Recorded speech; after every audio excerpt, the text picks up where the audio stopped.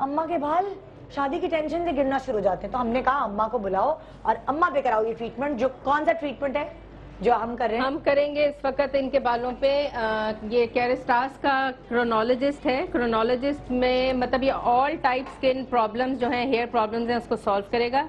इसमें आपकी hair fall आ जाती है इसमें आपकी डैंड्रफ आ जाती है। अब ऑयली स्कैल्प गर्मियों में आएगी ऑयली स्कैल्प आ जाती है।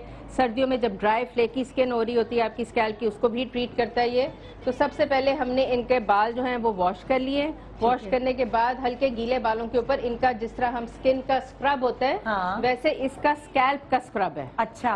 स्कैल्प के स्क्रब को हम अच्छी तरह से पूरे स्कैल्प पे लाइट सर्कुलर मूवमेंट्स में आप देखें मांग निकाल निकाल हाँ, के वो हाँ। एक्सफोलिएट कर रही है। ठीक है। कि डेड स्किन स्कैल्प पे से उतरेगी। हम्म। तो फिर जो कैवियार होगा ये कैवियार है। हम्म। जो मछली के अंडे जो इस वक्त सबसे महँगे होते हैं आपके उसमें। और ये आप कैवियार ये देखो। ये मछली के अंडे हैं जिससे आपकी हेयर फॉल भी खत्म होगी आपकी डैंड्रफ भी खत्म होगी आपकी ऑयली स्कैल्प जो है वो खत्म हो जाती है। और बड़ा अच्छा सा इसका एक बंदे को पूरा लगता है ये? ये डिपेंड करता है आपने ये बालों पे भी लगाना होता है और हाँ। वो देना जिसके अंदर से वो करना है। और इसकी बड़ी प्यारी सी एक टेक्निक है जो मैं आपको दिखाती हूँ। हाँ। ये आप इसके अंदर जब डालेंगे हाँ। इसको स्क्रू करोगे क्या कैसे कर ऐसे करते हैं ना? हाँ। टाइट करेंगे तो ये सारा जो इसका कैवियार का जूस है वो ऊपर आ हाँ। जाएगा। ओ, ये क्योंकि इसके अंदर बारीक सी छाननी लगी हुई है हाँ ओ तो अंडे के छिलके जो है वो नीचे रह जाएँगे और के जो है वो हाँ मैं वो कर देती हूँ हाँ, टाइट कर देती ठीक है।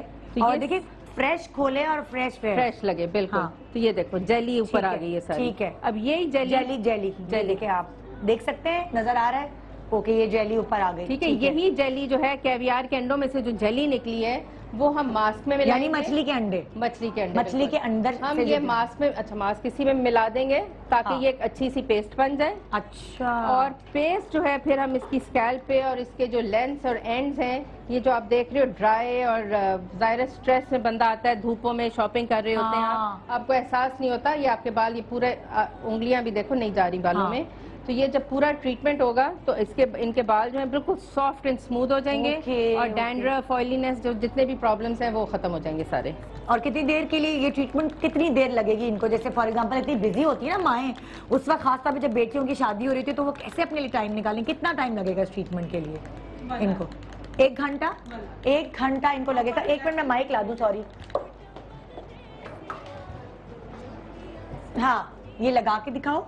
हाँ ये। कौन बता रहा है? मैं आपका माइक लेके बताती हूँ। एक घंटा लगेगा इस ट्रीटमेंट के लिए। बिल्कुल एक घंटा लगेगा हाँ। इसमें। ठीक है। आपका इसमें स्कैल्प लेंथ भी आपकी बिल्कुल सॉफ्ट हो जाएगी हाँ। ड्राइनेस खत्म हो जाएगी आपके बालों में डिटेंगल जो बाल आइन के हो रहे हैं डिहाइड्रेशन तरफ़ लगाओगी ताकि हम कैमरे से कैप्चर कर सकें। हाँ। ताकि इधर बालों हाँ। पे भी नज़र आता रहे। अब तुम सामने ना हो बस। बाल पकड़ के अपने पास खींच लो।